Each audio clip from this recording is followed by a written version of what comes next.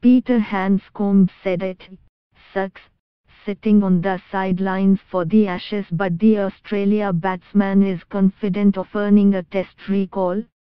Handscomb was dumped for the third test in Perth and his replacement all-rounder Mitchell Marsh solidified his position in the lineup with a 181 run knock as Australia defeated England by an innings and 41 runs. The 26-year-old paid the price for scores of only 14, 36 and 12 against England, with his unorthodox batting technique under the spotlight.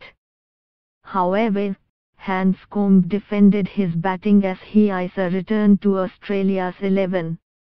I'm quite confident with the way I'm batting at the moment, Handscomb told reporters on Friday.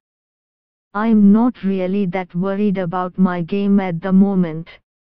I know how well I can play and I know how tough test cricket is. Red Bar Saeed Ajmal among top Pakistani cricketers stuck in Uganda after payment dispute. If I come back in at any stage I'm pretty confident I will be able to come in and make runs. I can't bowl, Mitch can bowl and on a Perth wicket it can be a long fielding innings, he said. We won the test and the ashes, so no issues there. You can always understand it, it sucks sitting on the sidelines, but it's still awesome to be a part of the squad.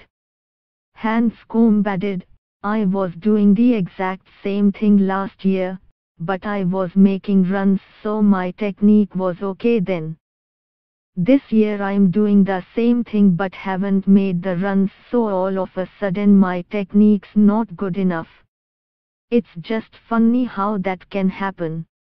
Marsh is set to retain his place for the Boxing Day test in Melbourne, with Australia enjoying an unassailable 3-0 series lead after reclaiming the Ashes.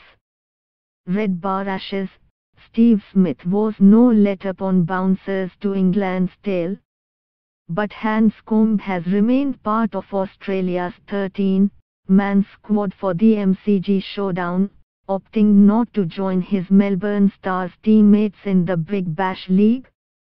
You need to be there ready to go with your long format, test skills, Handscomb said.